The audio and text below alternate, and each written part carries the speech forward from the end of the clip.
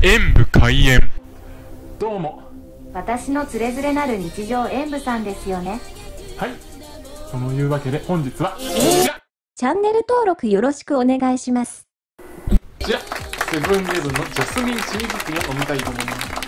ジャスミンチーズミルクティーで。すまあチーズとミルクってどちらも乳製品な気がしますが。でもミルクティーは好きなのでこちら。も食べてますチーズティー。か確かタピオカの次に来るとか言われてる飲み物ですね。チーズがお茶ってなるとちょっと想像つかないんですけどどんな味なんでしょうか。飲んでみたいと思います。では飲んでみます。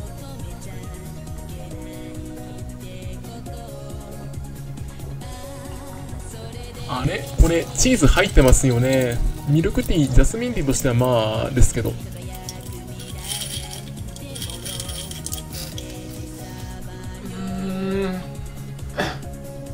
濃厚なミルクティーとして飲むとジャスミンティーとして飲むと非常に美味しいんですがちょっとチーズがどこにあるのか分からなくなっているような感じがしたのが残念でした。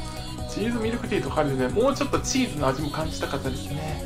ジャスミンティーやミルクティーとしては美味しいのでそれらが好きな方にはおすすめはできます。というわけでこちらの点数とさせていただきます。もうちょっとチーズ感じたかったなやっぱり。それ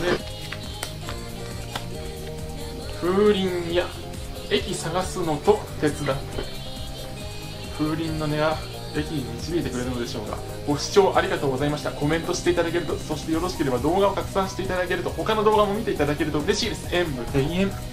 パソコンおよびスマートフォンのアプリの方はクリックをお願いします。